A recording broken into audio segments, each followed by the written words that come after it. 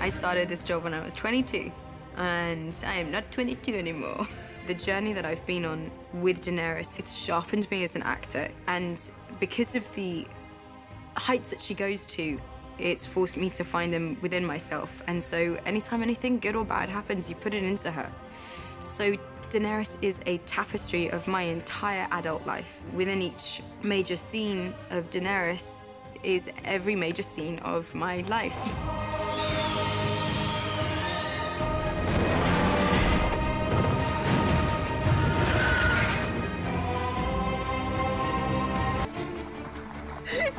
My first day on set. Oh my god, I fell off a fucking horse.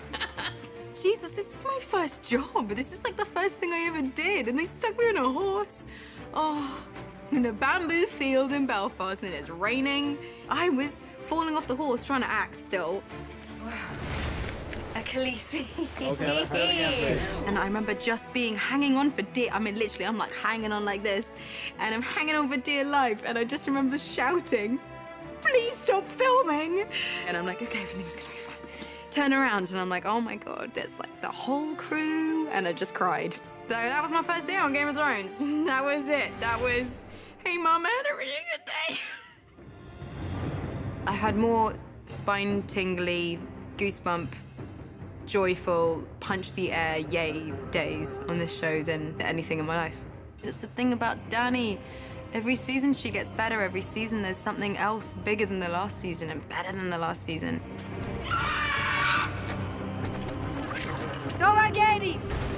Season three, Getting the Unsullied, was the first time that I, Emilia, got to be, you know, like, bitch and badass. Nigei Daenerys gel masmo hen Targaryen entra. Dracarys. Uh, it was really cool. It rubs off on you as an actor. You just you feel it. I have had to stand up and and be Daenerys. In all of these moments, I've had to stand on that rock and speak to a lot of people in a crazy language. Hasheri vajira hashi sandali. Hasheri manhan. Ano gaga. Fuck. Fucked up all of my Dothraki. It's been a challenge, but you just have to like you just have to grow a pair and do it. Leaving this show is leaving a part of me. The people are just gonna take Peter, gonna take Natalie, gonna take them all. How can I rule seven kingdoms if I can't control Slaver's Bay? Why should anyone follow me? You're a Targaryen. You're the mother of dragons. There's an ease that I get with acting with Iain Glen because he's been my pal the whole time. There's been my one, my buddy. Shambles, Charlotte. Shambles. Iain was, is an incredible actor and he is an incredible mentor. He's just helped me as a person on a really real level. I'm gonna start to cry. This is ridiculous. This is always a safe space. We can have fun and we can take the piss out of each other and we can support each other and we can laugh at each other's jokes or we can laugh at each other's bad moods or we can, it's a family, it's an absolute family. There's no ego, there's no, we're in it together and I'm never gonna get that again.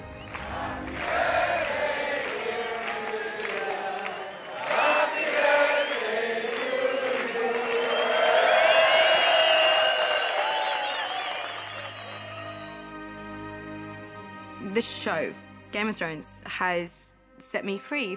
It's literally given me my freedom as a human being and as an actor and as a woman. I've been able to play this incredibly strong woman when I could have very easily never thought of the places that I had to go to with her, the strength that I had to find to play her, and then seeing that I had that strength myself. And that's a really big deal. And these guys have taken care of me so much, and I don't know what I'm gonna do. I'm really lucky I get to have it documented.